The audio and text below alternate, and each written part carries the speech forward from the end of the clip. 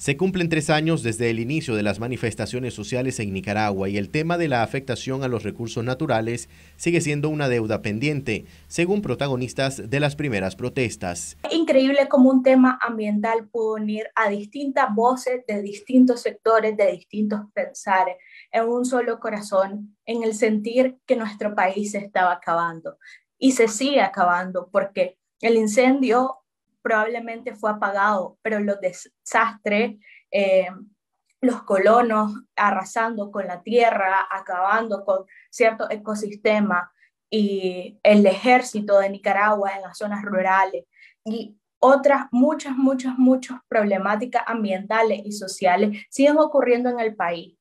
Y ese es eh, el problema, que no seguimos hablando de eso. Incluso ahora en una transición o una posible elección, los candidatos presidenciales, ninguno de ellos ha tocado el tema ambiental.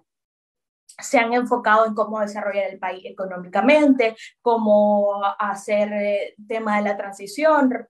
Incluso puedo, podemos decir muchas cosas, pero creo que, que sería bueno que muchas de estas personas que aspiran a transformar el país también pensaran cómo desde lo ambiental o cómo desde las problemáticas ambientales, siendo un país tan rico, tan, tan eh, variado en naturaleza, eh, cómo, cómo podemos cuidarla y cómo podemos también atender a las poblaciones. Según la apreciación de organismos como el colectivo Nicaragua Nunca Más, lo ocurrido en abril de 2018 fue una reacción equivocada de las demandas planteadas por los ciudadanos en ese entonces. Los medios de comunicación continuaron eh, evidenciando la falta de, de, estrategia por parte del Estado.